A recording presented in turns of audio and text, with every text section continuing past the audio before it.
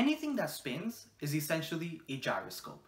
And in planes, the most obvious spinning thing is what's keeping you up in the air, your propeller.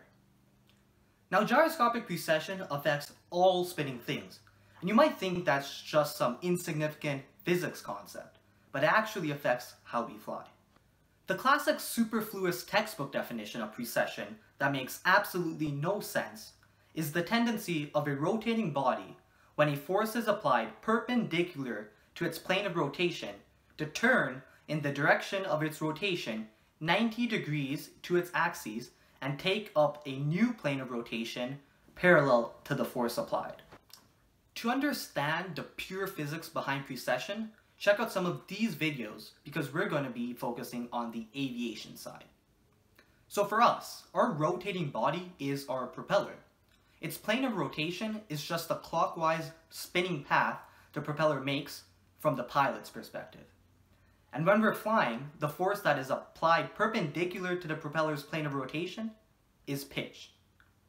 So let's say we push the yoke, our elevator goes up, and we create an effective force on the top of the propeller, which pushes our nose down, and we pitch down. If this isn't clear, imagine the propeller on its own. When you pitch down, the propeller tilts downwards. From its perspective, this is happening because of a force that is pushing the top of the propeller downwards.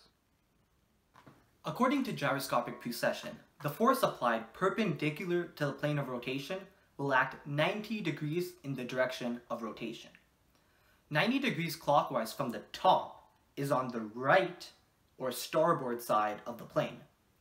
Because the propeller is directly attached to the aircraft, the entire plane feels that force pushing it towards the left or port side.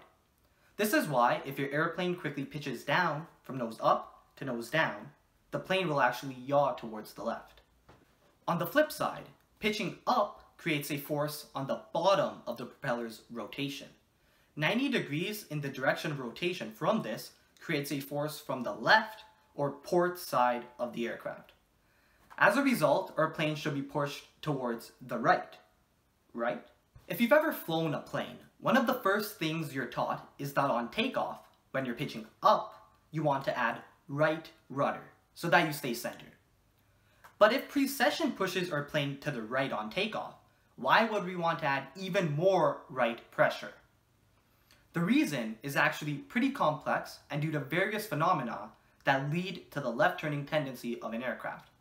Essentially, there are multiple other left turning tendencies that greatly overwhelm the right push from pitching up. These tendencies will be covered in a later video.